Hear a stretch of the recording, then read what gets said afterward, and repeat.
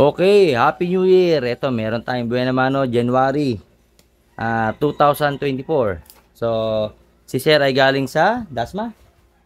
Paranaque. okay, Paranaque, sorry. Galing ng Paranaque to. So, maaga pa lang, dumating na si Sir. Kita nyo, ayan, binaklas ko yung makina kasi for overhauling nga. At yung tunog ng makina niya, hindi na normal. Then, chinek ko talaga, wasak. Wasak yung pyesa, no? At ito, may isa ako napansin. Sabi ni Sir, eh, magto 2 years na itong ginawa. No? Pansin nyo, ito, yung kanyang stator coil. Nung binabaklas ko na yung makina, naudlot yung pagbabaklas ko kasi hindi ko mabaklas yung stator coil. Kasi kakalasin ko yung buong makina, ibababa ko yung makina. So sabi ko kasi, sige, uh, ayusin ko na lang din yung ginawa nung iba. Kasi nga, laki na singil, no? 1,400. Oh, home service. Home service. Oh, hindi natin may mention kung sino man yon. So sa akin lang, wala namang masamang magganon. Sa akin lang, ayusin yung trabaho, no? Lagi ko sinasabi, sisingil kayo ng ganung presyo, ayusin yung trabaho. Oh, kayo ba matutuwa ganyan? Yan, pakita ko na ha. Full wave. Full wave regulator, andito regulator. Saan ba dapat nakapwesto? Ito. Oh, ayan oh. Ito yung pwestuhan. O, tas body ground, di ko lang kung sino gumawa nito. Sabi niya, nagpagawa raw siya dyan. Ito naman body ground. Naglagay ng wire. Binilog lang sa tornilyo. Tapos ito, yan. Kita niyo yan? So, bubulat natin ko muna. Then, cut ko yung video. Pakita ko sa inyo after kong bulat natin. Tingnan natin kung ano meron sa loob. Kasi ayusin ko tong full wave. Okay? Okay. So, nabaklas ko na, no? Ito, papakita ko na yung kung paano ginawa yung full wave. So, hindi tayo naninira, no? Gusto ko lang ah, pakita yung difference ng gawa ko, kung paano ako magpo-full wave, yung resulta after. Pakita ko lang muna yung gawa ng iba, no? Okay naman, kaso nga lang medyo delikado. Sa electrical tape pa lang, ah, hindi na ako na nadiskumpiyado na ako din sa way ng gawa, ah, medyo delikado kasi nga matulis, matulis yung pagkakahinang. Yan. Close up natin, no? Yan. Times 4. Yun. O, yan. Ito. Hmm. Tingnan niyo yung pagkakahinang. Ayan. Yung pagkakahinang, okay naman nakahinang sir, eh, di ba? Wala nang problema. Pero tusok-tusok. Kasi delikado to, yan, oh. Nahinang. eh. Oh, yan, oh, delikado. Naginang ka, dapat hindi tusok-tusok, ayan, oh. Napakadelikado niyan. Pag nagdikit-dikit yan, tapos nakakumpul pa yan dito kanina, di ba? Nakakumpul na ganyan, nakasara. Oh, di ba? So, yun yung iniiwasan natin. Tingnan nyo, kumpul-kumpul. Napakadelikado sa motorsiklo. Di ba? Positive, negative, magnagdikit, shorted. Positive and negative to, ha? Hindi, hindi pwedeng magkadikit to. Bawal na bawal. Ayan po. Oh, may puputok talaga. Puputok yung fuse. Diba? Pag nababad o kaya mataas masyado yung amperes ng fuse, masusunog yung regulator o yung harness. Magsisilab yung motorsiklo. Eh, ayun siguro yung mga nasusunog, no? Ah, may time na ganun. So, eto. Yan, nakikita niyo yan. So, ayusin ko lahat to. Then, kaya kung hindi makuha yung stator code, ganun din ang ginawa. Sa, dapat niremain na lang yung sakit. Ayan. O, tinan niyo yung ginawa. Ayan. O. Diba? Tusok-tusok. Ayun, no? Matulis. Pag ginawa ka mo rito, ma matulis masyado. Ayan, o. Yan. Diba? Kahit na nakakover ng electrical tape yan, matulis na matulis yan. May chance ang makasugat sa ibang wire. Ang motor po ay nagbabibrate, 'di ba? Umaandar, nakakalug-kalog. Oh. Buti nga ano, naagapan nakita ko. So ako aagapan ko lang no, kaysa ma mapunta sa sunog. May sakit kasi to, yan, oh, tulad nito. May male and female. Hindi nyo kailangan galawin yun eh. So, ang gagawin ko rito, re-remedyohan ko, ayusin ko. Papakita ko sa inyo paano ko gumagawa ng full wave. No? Titingnan nyo yung difference ha, sa gawa ko. Saka ang singil ko rito pag ako gumawa is 850. Sagot ko na yung regulator, may warranty ka pa. Ba? Patagalan tayo paano masisira. Bibigyan ni regulator, baka yung gawa kong wiring, buo pa. So, ayusin lang natin trabaho, no? Ganito. Ayusin ko to. Tingnan nyo yung, yung improvement, ha? So, ito yung lumang sakit. Ayusin ko lahat yan. Ito yung full wave regulator niya. Yan, ayusin natin to. Okay po. So, abangan nyo. So, ito. Ayan, ha. Papakita ko lang yung sample ng paghihinang ko. O, yung paghihinang namin versus dun sa dating gumawa. So, ito eh para lang ano ha. Ah, ma- magkaroon kayo ng idea na ano yung difference ng mga mekaniko o yung gumagawa, yung mga nagpo-full wave. So, ito, inayos ko pa lang. Sample lang to ha. Yan, pakita ko to. Yan. Hinang ko. Yan o. Hanggang hanggang kabila nakahinang. Then walang tusok, no? Wala wala kang mararamdamang maano matulis, yan o, pag ginawakan mo. Pag kinobera mo ng electrical, safe. O nilagyan mo ng shrinkable, safe. 'Di ba? Hindi nakakatusok. Tapos yung terminal, syempre dahil tinanggal niya yung ganto, yung socket, lalagyan ko ngayon, ayun o. Ayan. O, nakahinang pa. Ayan o, ayan, papakita ko ha. O, naka-soldering pa yan, naka-soldering. O, ganyan ang gawa. Naka-soldering pa. Bukod sa naka-soldering, syempre, naka-clip ng maayos. O pag chi- chinek mo, ayan, naka-clip ng maayos. So, ano mangyayari? Di ba, mas maganda resulta? Kukumpara mo sa kanina.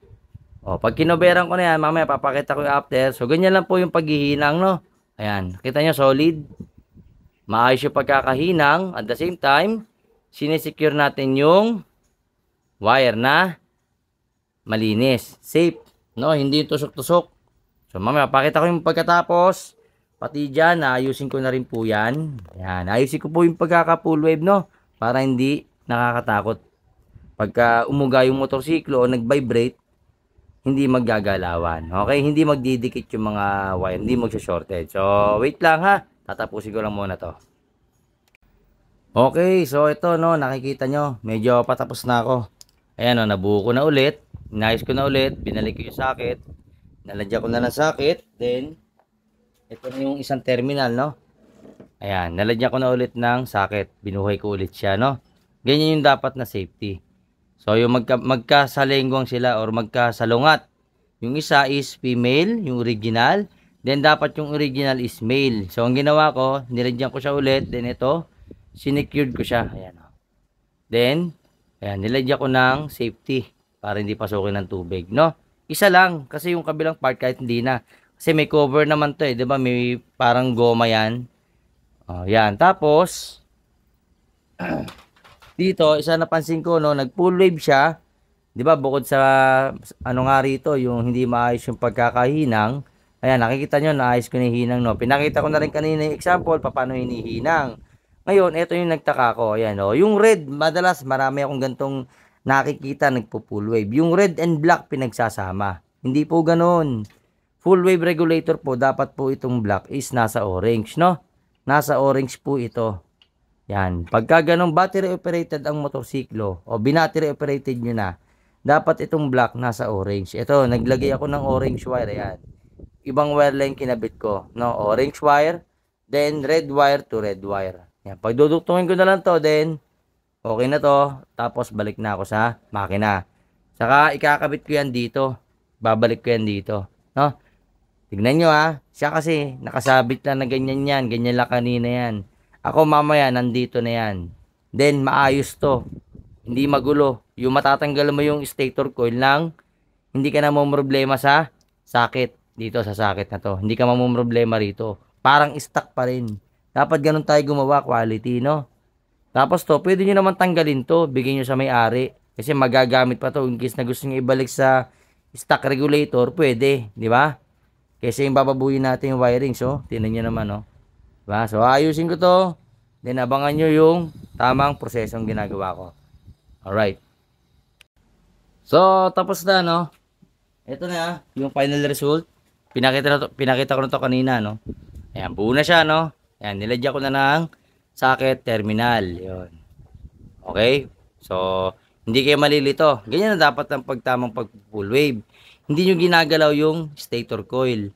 O yung wire na stator, dapat steady lang yan. Then, yung kaduktong niya, ito. Yan. O, yun yung regulator, no? Naikabit ko. Sabi, hindi kasi, ano, kasya naman, di ba? O, may diskarte lang. Paano magkakasya? Then, yung wiring sa'yo, no? O, hinagod natin ng maayos. Malinis, no? Yung akala mo, walang nangyayari sa motorsiklo. Tapos, ito. Binalik ko na ho sa dati. Ayan, binuhay ko siya. Yan. Nilagyan ko ulit.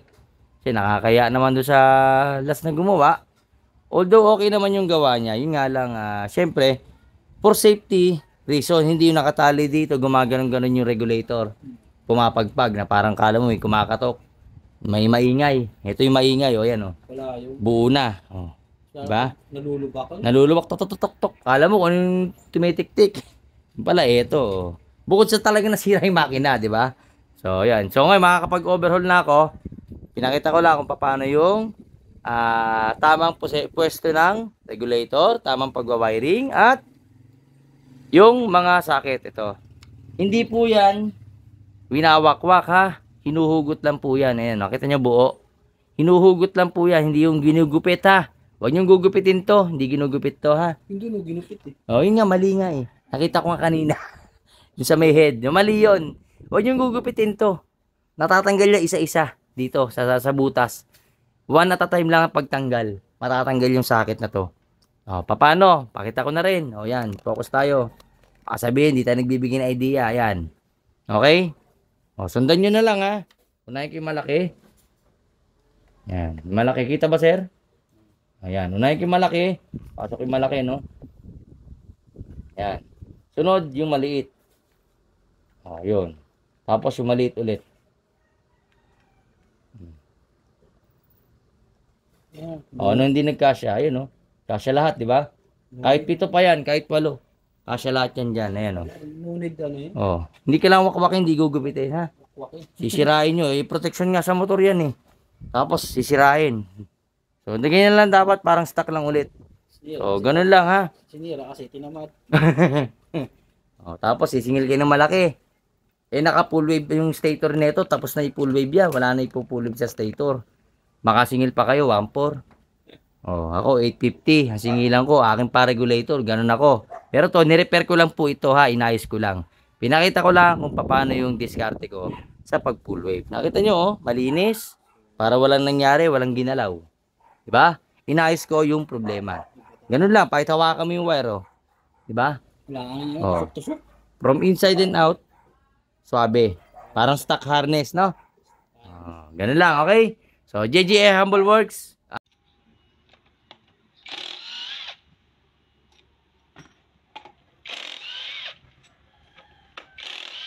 Okay. Done. Biyak. Ready ka na ba? Ready na. Ready na?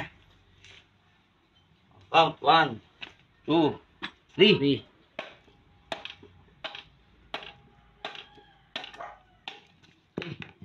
Wala. Balik. One, two, three, hugot. Charan! Yun. Ito yung konsig niyan. ha? Ito si Gunyal. Yan yung wasak. Yung Ito wasak. yung bearing and Conrad. Ito yung kick spring. Yan o, sunog na langis o. Puro sunog na langis. Kita mo, overheat. Kasi, konti na rin langis mo. Ito yung kulay. Iba na yung texture, no? Mm. Hindi na kulay bakal. Kulay na nasunog na bakal. Yung Di amoy ba? niya, amoy bakal na. no? Hmm. Hindi biro yan sa motor. Ito yung kick. Ito yung kick. Kahit mamaya na. Balik muna natin. Tangkalasin muna natin ito. Listen ito.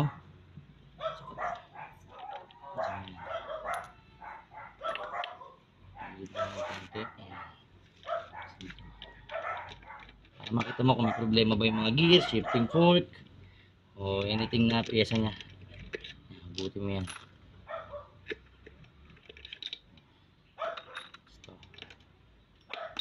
Okay. Yan yung gear. Ito yung nagkakambyo sa'yo.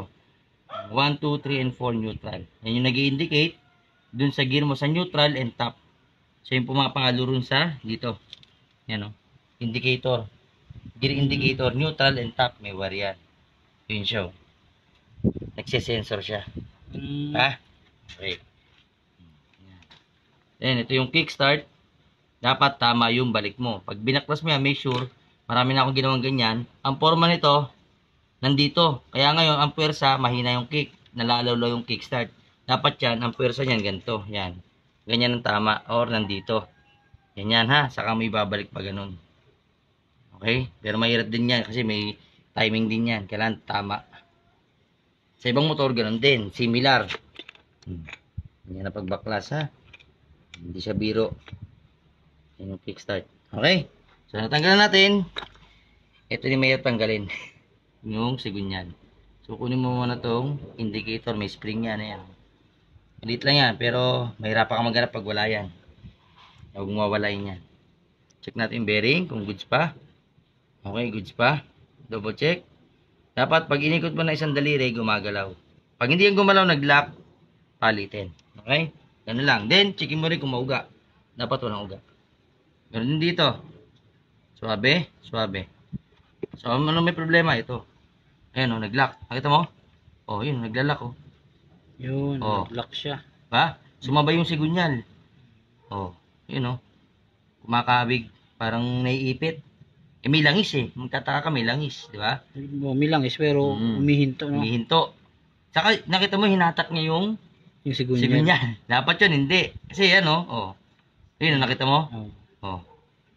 Yan, ibig sabihin, may, may time na may, pag kumapit yung awang doon, sa bearing, ah, ano siya, mag-iingay yun. Ganun yung nangyari sa'yo. Kaya pag mabilis na ikot ng makina mo, maingay na. Kasi nga, muntik ka ng matuyuan ng langis. Kita naman sa itsura. Wala na no. Hmm. Ano ba? Eh, yung langis mo, di ba? Kapinggot lang nakuha natin. Wala pang 500 ml. Parang ano lang ata eh. 150 to 200 ml yung nakuha natin. Buti nga, umabot ka rito. Hindi, yari ka sa kalsada. Ayan. Yan yung babaklasin ko ngayon. Yung sigunyan. Paano binabaklas? Siyempre, kailangan natin ng torch. Torch. Apoy. Okay, torch ko muna to.